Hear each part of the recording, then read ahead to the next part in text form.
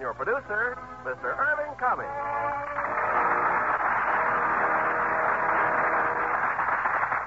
Greetings from Hollywood, ladies and gentlemen. Tonight's play, play Stairway to Heaven, is another J. Arthur Rank production which received international acclaim.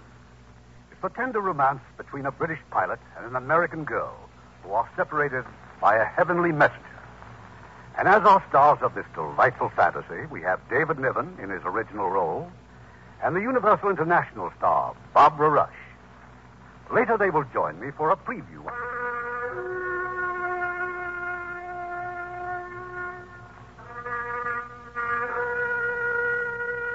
This is the story of two worlds. The one you know, called Earth, and another, existing only in the mind of a young pilot, whose life and imagination have been violently shaped by war.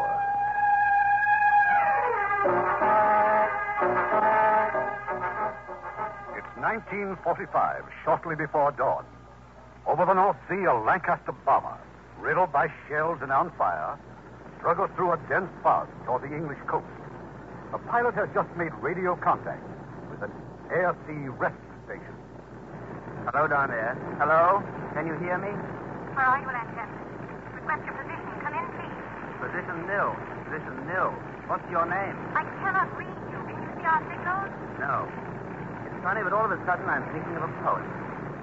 Give me my scallop shell of quiet, my staff of faith to walk upon, my scrip of joy, immortal diet, my bottle of salvation, my gown of glory, hope's true gauge, and thus I'll take my pilgrimage. Sir Walter Raleigh wrote that.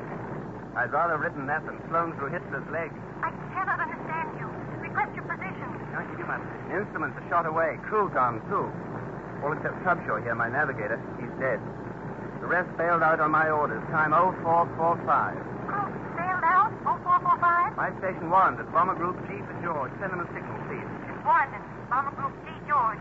Are you going to try to land, G. George? Oh, my name is not G. George. It's Carter. Peter D. Carter. No, I can't land. The undercarriage is gone. I'm bailing out presently. What's your name? June. Well, I'm bailing out June. Catch. I don't have a parachute. Repeat, please. Hello. Can you hear me? No, it's all right. I'd much rather jump than try. Hope I'm not upsetting you, June. Are you pretty? Not bad. You've got a beautiful voice. Funny, a girl I've never seen would hear my last words. Well, perhaps we could do something.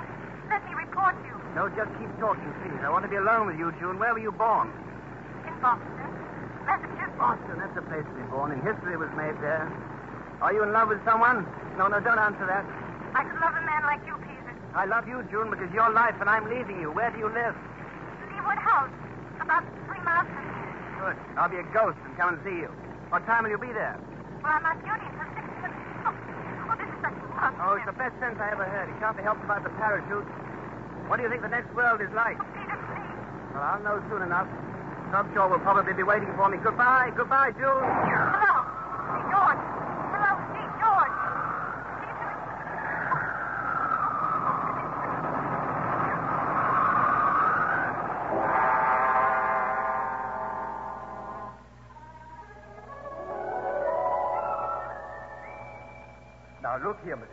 I have told you a dozen times. I'm very busy. Do not bother me. Look, am I dead or am I not dead? Sacrilege, yes, of course you are dead. All right, and this is heaven, isn't it? Then where is he? Where is Peter D. Carter? He is around here someplace. Look for him. I have almost 1,000 airmen to account for, and if you Peter D. Carter is not here, but he's supposed to be here. His name's on that list. He's either AWOL or else, well, there's been a mistake. There has not been a mistake here for 1,000 years. Then where's Carter? If there was a mistake, if Peter Carter was still alive on Earth, a bell would ring. Do you hear a bell? No. Therefore, no mistake has been made. And if you have any further complaints, I... Oh, no. Oh, no, no. Conductor R34. Conductor R34. Go to the recorder's office with Lieutenant Trubshaw. Report at once, please, with Lieutenant Trubshaw. Mm-hmm, no mistake, eh?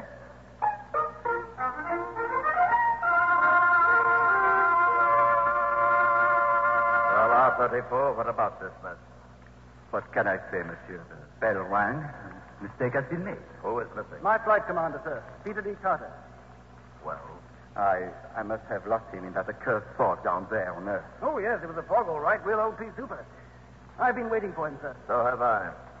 Don't you know a thing like this must be reported to me immediately? I lost my head, Monsieur Recorder. Yes. Not long in the service, eh? Since the so-called glorious French Revolution, Monsieur, I see. Natural death? I also lost my head then. Monsieur, I will go after Carter at once. It's not so simple. Hmm? Peter Carter has fallen in love. That complicates matters. He's Fallen in love? Peter Carter jumped from his plane fully expecting an immediate demise. Due to some butter fingering up here, he did not die. But, but how? He lost consciousness and woke up on a stretch of beach. Suddenly, he became aware of a girl.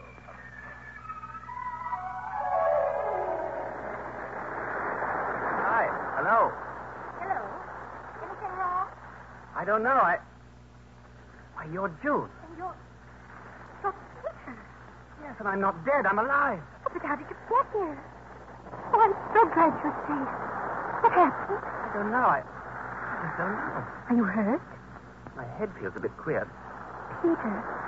Oh, what a cruel joke to play. Oh, I wasn't joking.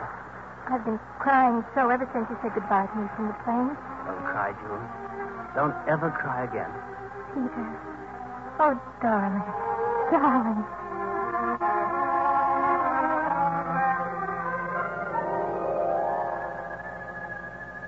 And that's what's been going on down there. I will proceed to us at once, Monsieur. Explain your error to Mr. Carter and get him up here where he belongs. Oh, uh, when you see him, give him a message for me, huh? Avec plaisir. What message? Oh, just say, uh, what ho? Bon?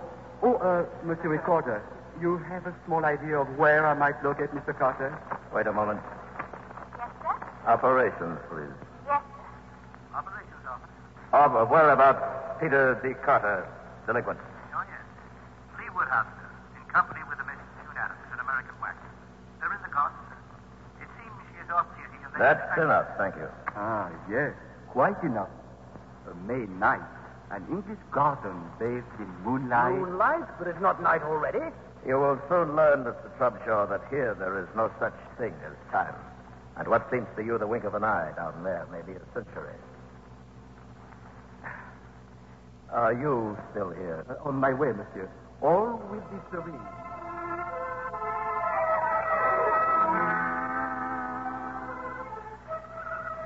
June, are you cold, darling? Cold? No, Peter, no. You smell something. No. Oh. Tell me, what did you do before the war? Good evening. Oh, good evening. Who are you? What's this costume? What is wrong with these clothes? They were my very best. I was buried in them some 150 years ago. June?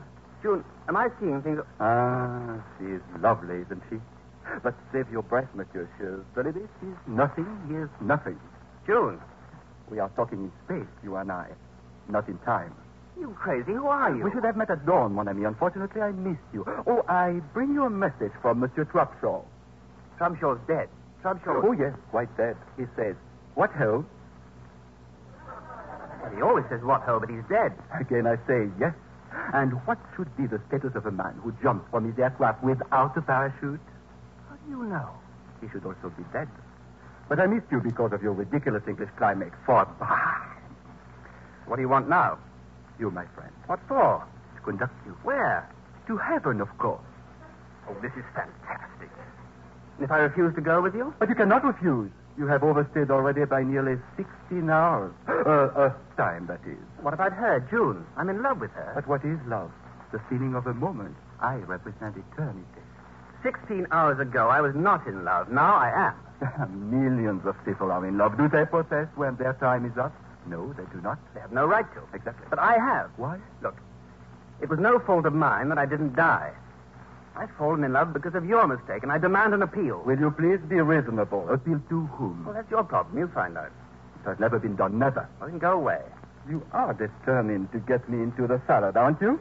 Well, what about the salad you got me into? Hmm. I think I'll leave you for a little while. Yeah, that's better. A little while, I said. I shall have to report above for instructions. Good. Go on. Report. And do not fall any deeper in love, do you hear me? I'm warning you. She's charming, isn't she? Au revoir, mon ami. I work for a magazine. June, what did you say? I said I work for a magazine. Why did you say that? Well, because you just asked me what I did before the war. Oh, yes, I did. June, what's the matter with me? A, such an odd thing happened while you were asleep, or, or did it? I haven't been asleep. Well, then you heard us talking. Why, no. Well, who was here to talk to? Well, they sent somebody. They? June, do I look cracked? well, not to me, darling. Are you? look, there was a dense fog at dawn this morning. That's right, isn't it? Well, you know there was. And I did bail out without a parachute, didn't I? So how can I be alive? Oh, darling, we've talked about that all day. We don't know what happened. It doesn't make sense. And I'm in love with you. That doesn't make much sense either. But I am. Well, that character insists I should be dead. What character? Well, he's French. He's got short pants and lace and things. They sent him down after me. He said he missed me before because of the fog. Bad luck for them. Good luck for me. I told him I was going to appeal. He's gone off to get instructions. But it's not my fault I'm not dead. It's not my fault that I found you and fell in love with you. It's, oh, Peter. oh, my head. Oh, these awful headaches. June. June, you are there, aren't you?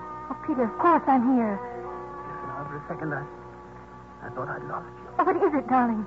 What is it?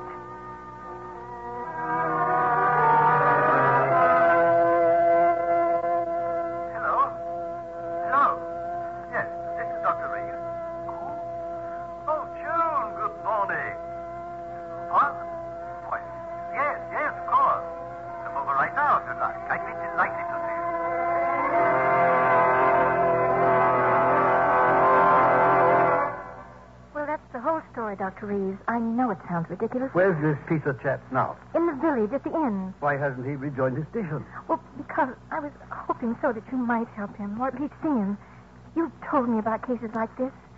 Oh, no, no, not like this, because nothing ever happened like this. I I've done a lot of work in neurology, yes, but that doesn't alter the fact that Peter Carter is the property of the Air Force. Oh, he's not property. He's a person, a very fine person. And I, I don't want anyone just mauling him about and asking him questions. I want you. I'm sure the RAF would say that. I knew exactly what they'd say. I had a talk with Carter's commanding officer right after you phoned me. The medical officer, too. Luckily, he'd heard of me, or said he had anyway. Well, you mean then they, they won't make... I mean that I've arranged a week's furlough. Oh, Dr. Reeves. So, he believes he bailed out without a parachute. Yes. And he has hallucinations. This uh, 18th century Frenchman. You told him he was talking rubbish? Oh, no. Good care. Now, look here.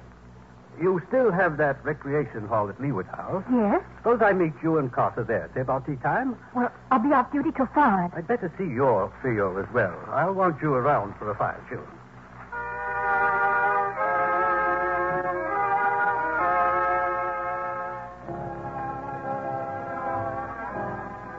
Don't mind me. Just go on with your game. Oh, Dr. Reeves. So he's a chess player, is he? Any good? Oh, he'll do. Squadron Leader Carter, Dr. Reeves. How do you do? How do you do? Well, I, uh, I've told him, Doctor, about you. Good. Mind if I ask a lot of stupid questions, Carter? I wish you would. These visions you've had, hallucinations, uh, ever happened before? No, never. What were you in civilian life? I taught at Oxford European history. Parents alive? My mother, What was the cause of your father's death? same as mine. Brain? No, war. 1917. But how long have you been in? 41. Hmm, you must have had a good many missions. 67. About these headaches. Headaches. Oh, I know you get them. I know you've had them for some time, and I know you told no one about them, especially your medical officer, right? What else do you know? I know about your eyes. You know a great deal. I'd like to know more. Well, the headache started about six months ago. Up here, mostly. Frontal and temporal. Did you ever get a bang on the head? Dropped as a baby, no doubt. I don't remember. Mind if I try something? Look straight ahead. Like this? Yes. What are you looking at? That girl down there playing the gramophone. She's got nice legs. Yes, very. Now, don't take your eyes off of her. This is going to be easy. Now, without moving your eyes, what can you see on the extreme right? Fireplace. In the center? Girl with the legs. Extreme left? Windows. Curtain? Yes. What color? Dark red. Good. Well, that's all of that. Now then, you've seen something. Someone. Clearly? As clearly as I see you. Now, don't be annoyed with this question. It may sound rather silly. But have you imagined recently that you smelled something that couldn't possibly be there? How did you know? I didn't. Uh, a shot in the dark. You noticed this odor at the same time you saw this heavenly messenger, this conductor fellow, this Frenchman? Yes. Onions. Fried onions. Well, you asked me. This messenger hasn't turned up again, has he? No, but he will. When? I don't know. Peter's launched an appeal, Doctor. Against what? Against dying. That's the spirit. Don't you give in. I won't. Yeah, that's about all for now, except you're to stay at my house for a few days. Would you mind? Well, not at all. But what about my commanding officer? His orders as well as mine. I want to be around when this Frenchman calls on you again. You're on your own till seven tonight. Oh, uh, you ought to come too, Joe. Dinner at seven.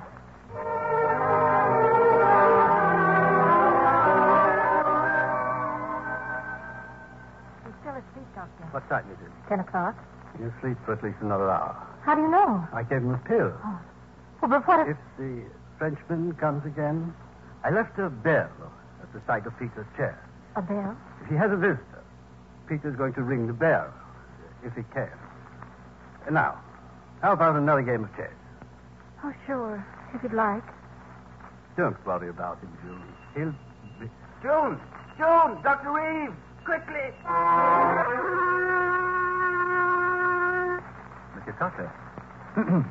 Monsieur, if you please. Hmm? Who? Oh, you're back.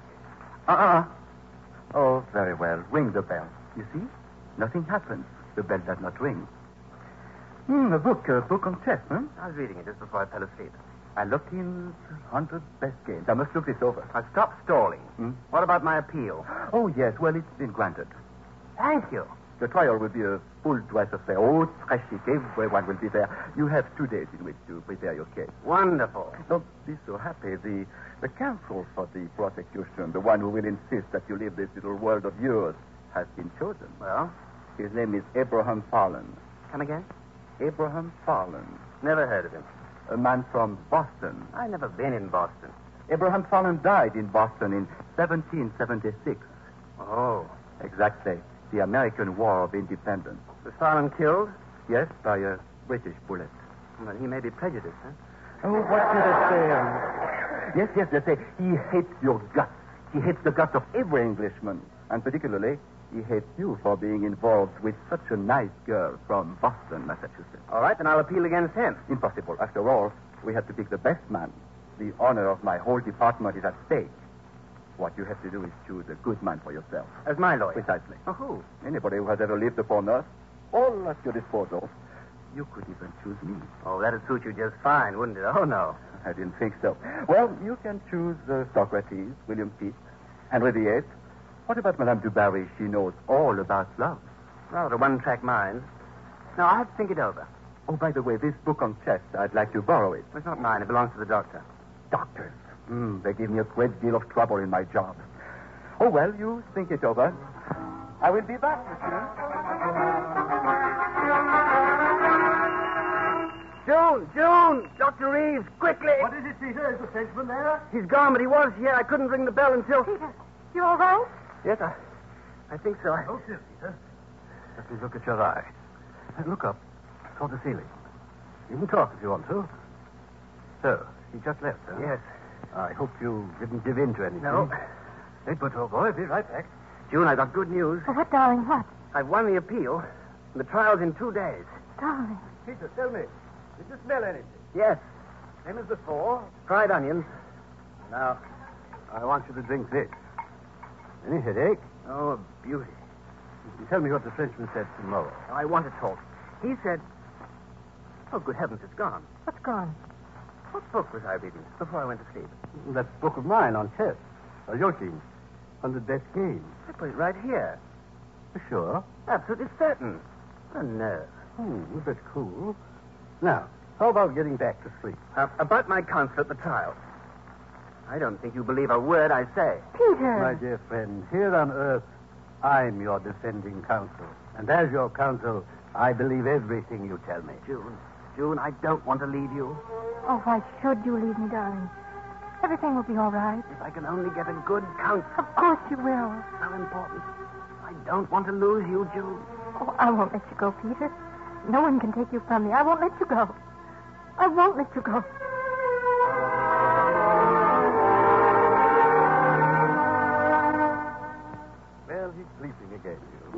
Will he have more hallucinations? Yes, but I think he'll be all right. Oh, he's not going mad again. His brain's not affected? Of course it's affected. He's having a series of highly organized hallucinations comparable to an experience of actual life. The combination of vision, of hearing, and of idea. To a neurologist, that points to a pressure on the brain. That's why Peter's sense of smell has been affected. Well, and how did he survive the jump from his plane? I don't know. Right now, the main thing is for him to win his case at the trial. You're serious? Perfectly serious. But suppose he loses. Oh, oh that's absurd. If we see that he's losing, or we think that he's going to lose, we'll find out the reason why he survived his jump, or we'll invent one. We'll have a couple of drinks, you and I, and invent the greatest lie in medical history. Meanwhile, Yes? Peter will have to be operated on. When? Right away. I'll see his RAF medical officer in the morning. We can't wait for the trial, June. As you said, he may lose.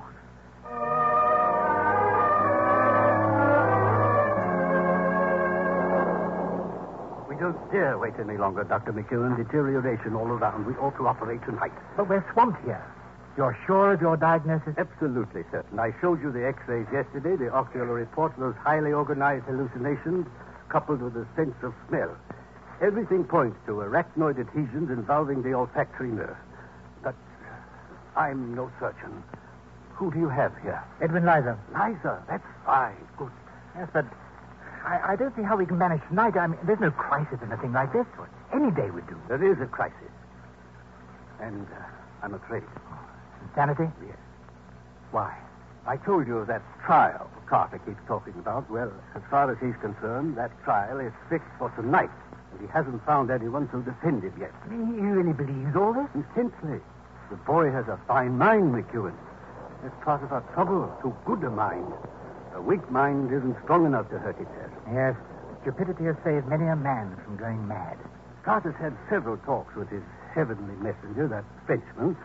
Hallucinations, of course, but you never saw such an imagination. But I, I don't quite follow. Nothing that Carter invents is entirely fantastic. It's invention, but it's logical invention. He's convinced he'll die if he loses his case tonight, and that's why I say we must operate tonight. It's no use shaking your head. But I'm sorry, but. Oh, excuse me. Dr. McEwen here. Who? Oh, one moment. It's you, Dr. Reeves. The girl. Hello? It's Peter, Doctor. He's worse. I I don't know what's happened. An attack or something. We were sitting here in your library, and all of a sudden he, he just stopped. He just sits staring out at the rain, staring into space as if he's. Oh, oh, please come. I'll be right there, too. Peter. Oh, Peter, darling. You're far off somewhere. Come back. Come back, Peter. Come back. I do not understand you at all, monsieur. I give you the right to choose as your counsel anyone who ever lived on Earth, and yet you tell me you cannot make up your mind. I can't. May I remind you, the trial is but a few of your hours off. Look there, shelf after shelf of books about famous men. There is Lincoln. What about Abraham Lincoln? No, it's hardly fair to drag him in. So I don't think he'd be prejudiced. Mm, Plato? Nobody knew more about reasoning than Plato. He was 81 when he died. He might be too old to think love important. Perhaps you're right. Now, if he had been French, Richelieu, for instance, oh, irresistible at 80. I never liked Richelieu much in the Three Musketeers. Uh, Voltaire? No. Then who do you want? Look, it sounds fine to have all these great men to choose from, but what do they know of our problems today? Mm, true, very little. Besides, it should be an Englishman. Nobody famous, but somebody with his head screwed on right. Now, what about this Abraham Farlan? Was he a famous man? A school teacher. Ah, you see? Anyway, why are you so interested in getting me a counsel? I am interested only in getting you where you belong, in heaven. Peter, now, come with me now. No. If you do, you will have nothing to worry about. No trials, no vexations, no pain. See over there, Peter? A great, magnificent stairway. Yes. It will take us there, Peter. It is the stairway to heaven. No. Come, Peter. Come. No. No, I don't have to go yet. I have your word. I can appeal. I'm leaving you, Frenchman. I'm getting out of space and going back to Earth. Back before it's too late. Peter, come here. Come back here. Come back. Come back. Come back, Peter. Oh, come back, darling. Peter, Peter. June, you almost got me. June. June. Doctor? He'll come around in a moment. June, Peter's got to go to the hospital tonight. Phone Dr. McEwen. Tell him I say it's life or death. Oh, yes, Doctor. Oh, uh, better send a telegram to his mother and sisters. You know where? Yes. That's all. Hello, Peter. Where's June? Phony. Oh, He'll be back in a moment. You almost got me. I know. He's a crafty beggar. Only got away by the skin of my teeth. Now, look here. Don't let anybody fool you into giving up this appeal. You've been promised a fair trial. Don't give in to anybody. I haven't the counsel. We'll find the right man. They might appoint some stooge. Nonsense. Or let it go by default. I tell you, we'll find somebody. They can't start until we do. Nobody famous. Well, how about... Doctor? Coming. I can't get through to the hospital. The operator says it's the storm. I'll take your car. No, you're more valuable here. I'll go. Now, go in to him. And don't allow him to despair, June. His life is in your hands.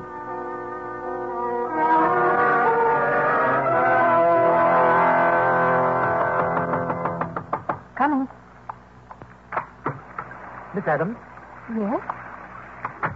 I'm uh, Dr. McEwen from the hospital. There's been an accident. Accident? Dr. Reeves. He was on his way to see you. I did see him. They brought him in. His car skidded off the road. Dr. Reeves is dead.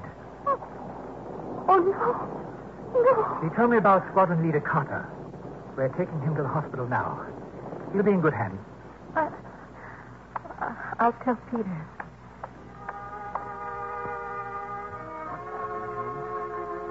Where's Dr. Reeves? Wait. He's gone ahead, Peter. He's Had an accident, hasn't he? Yes. A bad accident. Is he dead? Yes, he's dead. Oh, come, darling. Dr. McEwen's waiting.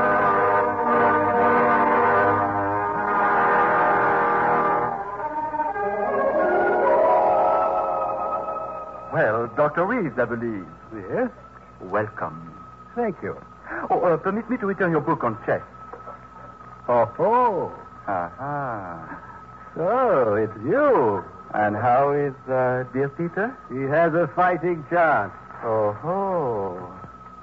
Where are you taking me? Up the stairway. We'll have to skip several of the preliminaries. I'm taking you at once to the recorder. He's very anxious to see you, Doctor.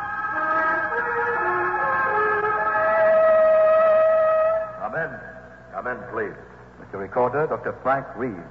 Doctor, you are familiar with the case of Peter Carter. I am. He has just chosen you to be his counsel. I was hoping he would. You have very little time in which to prepare your case.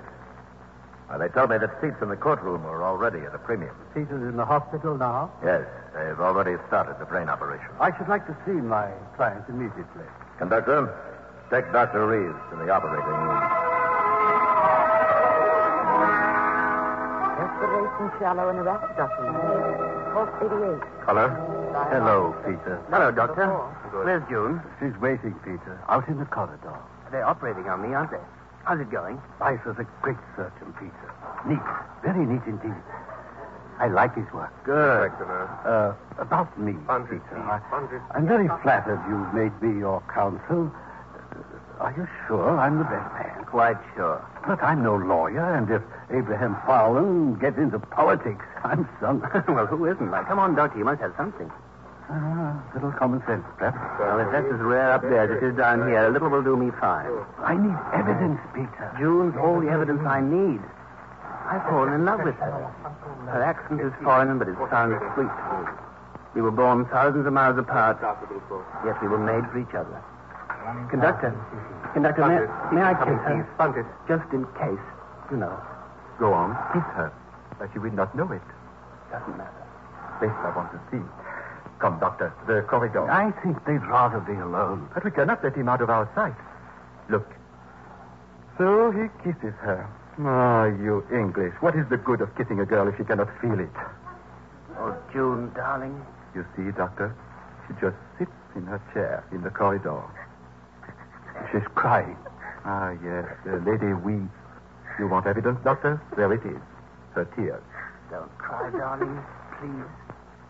If I could only take one of her tears. But you can. You can do as you wish. How can you take a tear into heaven? Uh, permit me. The rose in my buttonhole. I touch the rose to her cheek, so. And like a pearl of dew upon the petal lies a single mortal tear. The only bit of real evidence that we have. Come, we must get out of here now. Monsieur Recorder, we are ready. The case of Peter Carter versus Heaven will now be heard.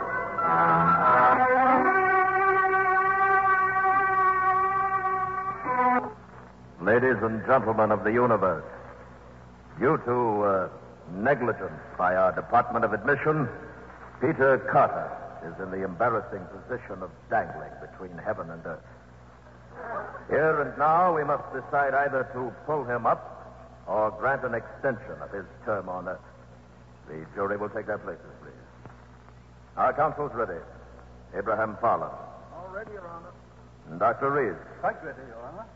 The prosecution has the floor, Mr. Farlan.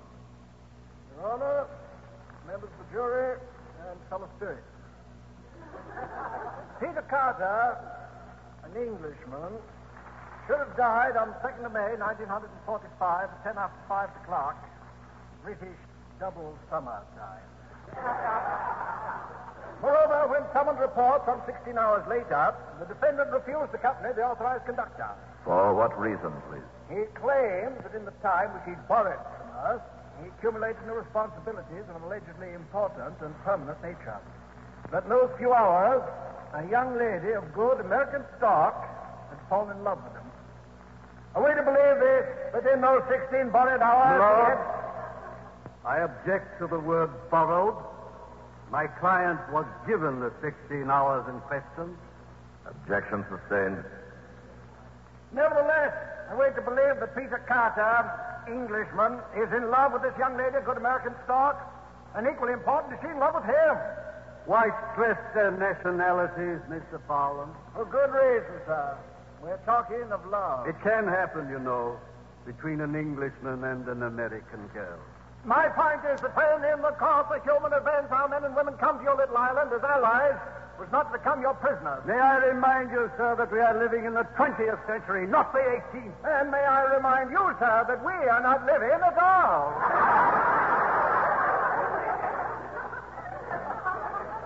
You've got me there, Mr. Farlan. Beg your pardon. Thank you. But I am up to date, Dr. Reeves. Oh, I've been watching you English from upstairs here. Your politics, your busyness. Is Peter D. Carter what you'd call a good Englishman? Yes, sir. I thought so. Considerable handicap, is it not?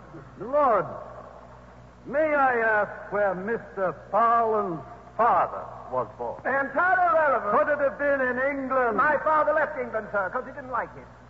But he liked it today. Well, I have here a radio. Let me turn it on. Listen, everybody. Listen to the England of today. Well, here we are at the cricket match, ladies and gentlemen. Voice of England, Let me say that the 1945. weather is much more like cricket weather now. Stopped raining and play has been resumed.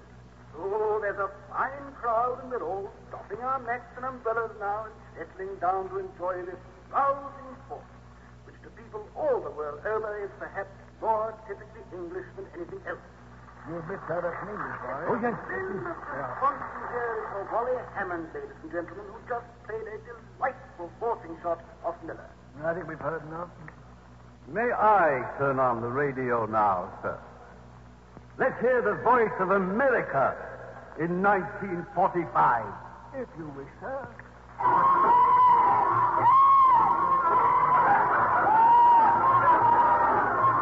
That can't be America. What is that savagery, sir? I don't understand it all. Neither do I. I simply suggest that what may be typically British or typically American has nothing to do with Peter Carter and or June Adams. Oh, yes, June Adams. Lovely, vibrant American girl. Members of the jury, I ask you, should the swift tempo of her promising young life be slowed to the crawl of a match at cricket? Or her accustomed native comfort be outraged by England's warm drinks, cold rooms, drafty windows, and faulty plumbing? At this moment, Mr. Powell, two million houses in England have no windows at all. My lord, I submit that this court is concerned with the life and death of Peter Carter and not with past history or present plumbing. But Peter Carter's character, sir, like every other human being, has been formed by circumstance. But by a chain of circumstances. As Benjamin Franklin once said, a kingdom was lost all for the want of a horseshoe nail. You've heard of Benjamin Franklin. I beg you, in George Washington's words, labor to keep alive in your breast that little spark of celestial fire called conscience. Are you insinuating that something's wrong with my conscience? Not at all. I'm proclaiming it. You are trying to prejudice the jury against Englishmen. I don't need to prejudice jury, sir. They're already prejudiced. You can't pick the jury today. Look at these 12 good men. First see Jean-Marie Barrow, Frenchman. Then a century past that war between France and England. Next is Gregarious Bonzier from the Transvaal. The Boer War, Dr. Reeves, remember? John G. Min, Chinese. Don't forget England's attack on China in 1857, occupying Peking. And you, sir? Balatage Fatal from Burma. I think of Burma, Dr. Reeves. And you? James Monahan. Ireland. Uh, choose a new jury anywhere, Dr. Reeves. It must always be prejudiced against England. My Lord, I challenge the jury and request that a new one be chosen. From where, Dr. Reeves? Anywhere except England. Why not from England? Where else have the rights of the individual been held so high? In America, sir, where these rights are held inalienable. Why, a man can see farther from the top of Boston State House and more worth to him than from all the pyramids and turrets the world over. America, sir, is the only place where a man is full grown. Then I ask for a jury of Americans, and if there is one who fought in the Revolutionary War, then I want another who fought shoulder to shoulder against our common enemy in this century. And if one has a mind that can only think back 170 years, I want another who thinks 170 years ahead. Do you agree, Mr. Farlan? I would welcome this jury, Your Honor. Court is adjourned while we find a new jury.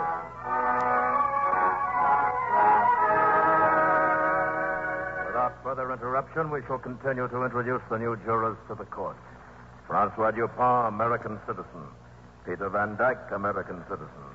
Jim Wong, American citizen. Jefferson Lincoln Brown, American citizen.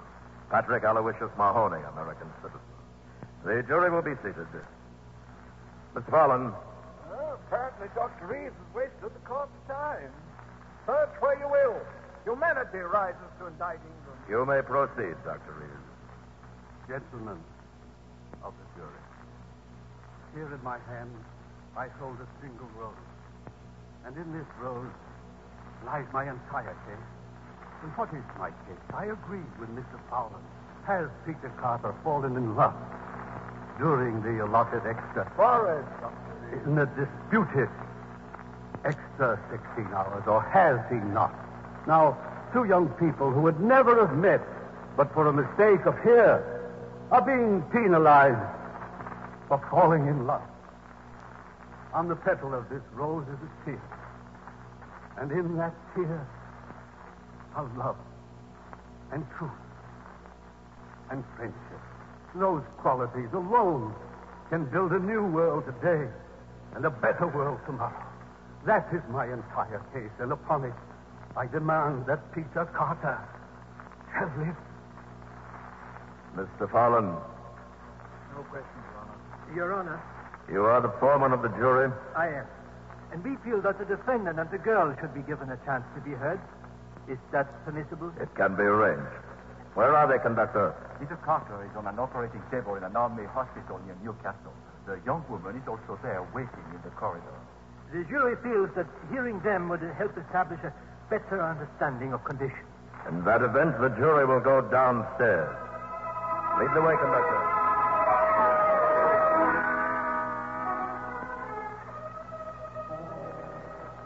There is Mr. Carter, monsieur, on the operating table. The jury will stand around, please. Hmm.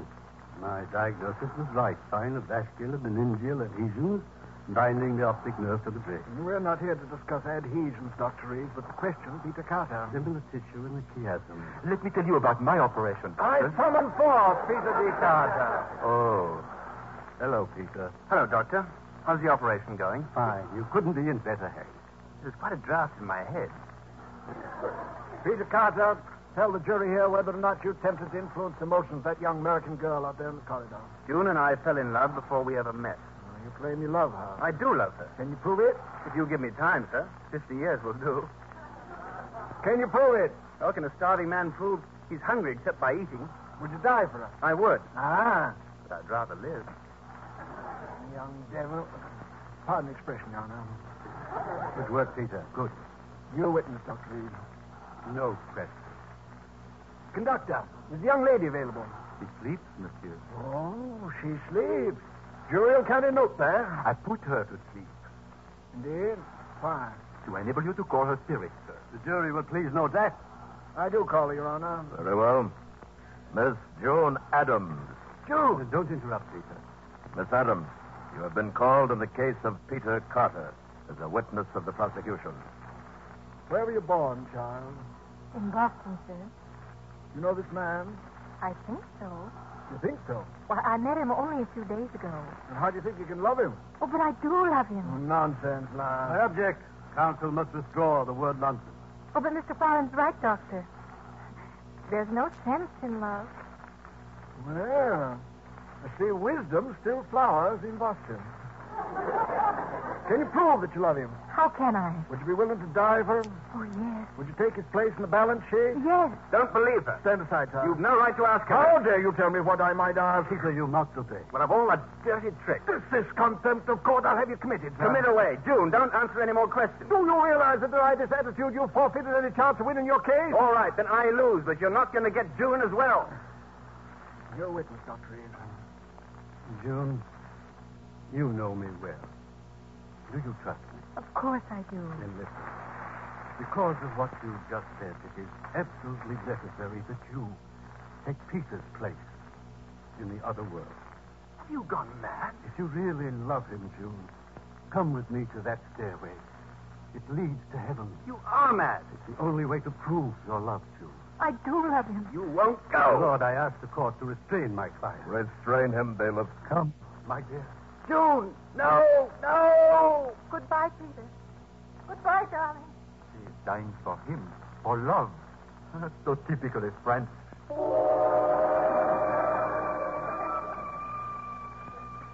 Look!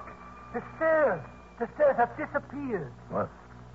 The stairs have disappeared. Unprecedented. Never has this happened before. June! Uh, they are coming back. Do you know what this means? A greater hand than ours has sent her back. But the universal law, the law of the universe, clearly stipulates. I know, Mr. Farlan.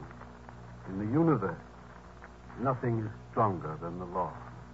But on Earth, nothing is stronger than love. June. June. I would die for you, darling. I would. Peter, forgive me. It was a long shot to take. I had to take it. It has been clearly established that June loves Peter and Peter loves June. As Sir Walter Scott is always saying, love rules the court, the game, the grove, and men below, and saints above. For love is heaven, and heaven is. As the jury considered the verdict, Case for the defendant, Your Honor. Bravo. appeal sustained, Mr. Carter. Thank you. There now remains the new date on Peter Carter's file. I'll write it down. Will the counsels approve it, please? Satisfactory, Dr. Reeves? Very generous. Isn't that a mite too much, Your Honor? No, I agree. Then let's go back where we belong. Uh, dear me, I hope this won't establish a precedent.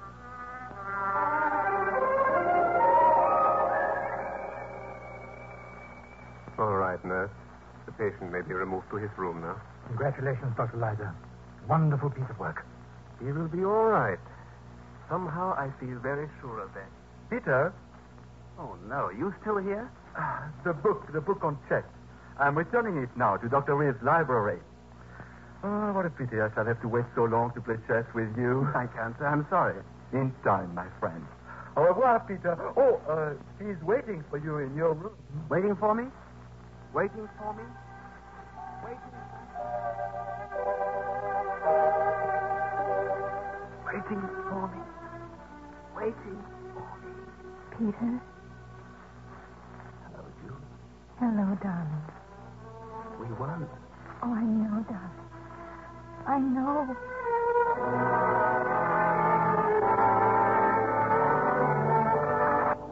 Congratulations to David Niven and Barbara Rush.